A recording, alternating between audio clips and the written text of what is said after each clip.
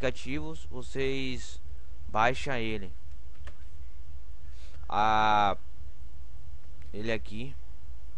Vocês faz o download dele e lembrando, ele vai vir no formato de imagem de disco, né, pronto já para ser gravado. Como se você não quiser gravar, vocês podem usar ele também normal sem precisar gravar, como eu fiz aqui. Aqui o Office Plus é vocês clicam aqui para fazer o download embaixo, né?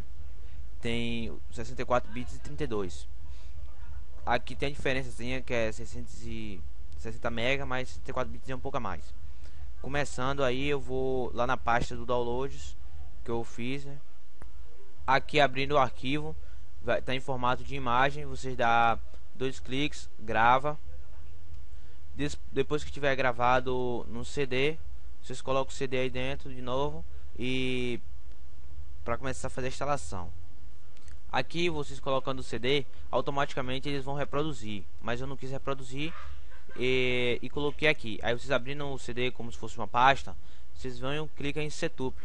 Fora isso, vai abrir aquela janelinha igual quando você bota o seu pendrive, aí vai ter executar setup. Você dá dois cliques e deixa executar. Eu como copiei as pastas para o computador, que o processo é mais rápido. Esperando abrir aqui, né? Lembrando que isso aqui vai levar na faixa de uns 30 minutos a 20. Só que o vídeo eu não vou deixar completo. É, nessa transferência aí, né? Aqui abriu, né? Tá preparando os arquivos aí pra começar a instalação. Aqui vocês têm a opção de instalar agora o personalizado. Dá um clique em instalar agora. E vai instalar completo. Se você tiver a versão 2007, você vai em personalizada e coloca em substituir, como se fosse uma atualização.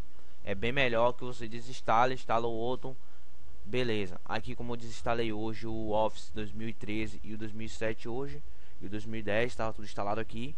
Agora tá perfeito agora. Vocês cliquem, dão uns, cliques aí nos anúncios do Google aí, né? Tá aí no meu blog aí que é para manter esse site aí que eu tenho que comprar pagar o provedor.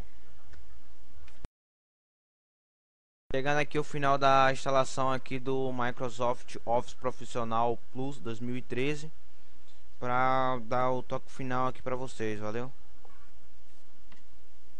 Aqui aqui é continue online que é a versão para teste né? Para teste não gratuito para teste, né? Então você fecha aqui e agora vamos abrir o o, o programinha aqui. É, lembrando, né, no próximo vídeo eu vou ensinar vocês como tá validando. Vou colocar aqui 2013. Esperar achar aqui, né? Levou na faixa de um, uma hora mais ou menos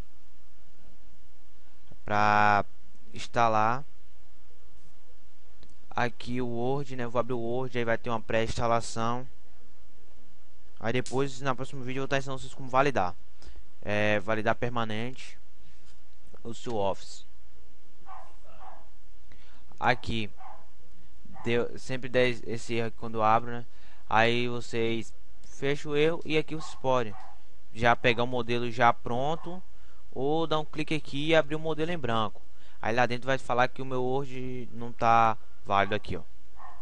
Não está ativo, mandando ativar. Vou ativar na instante. E na próximo vídeo eu vou ensinar vocês como tá fazendo a validação aí com o key válido. Valeu? Clique em gostei, comentem, compartilhem o vídeo. Não esqueça de deixar seu comentário aí, ó. Não esqueça de dar os cliques nos anúncios aí. Valeu, galera.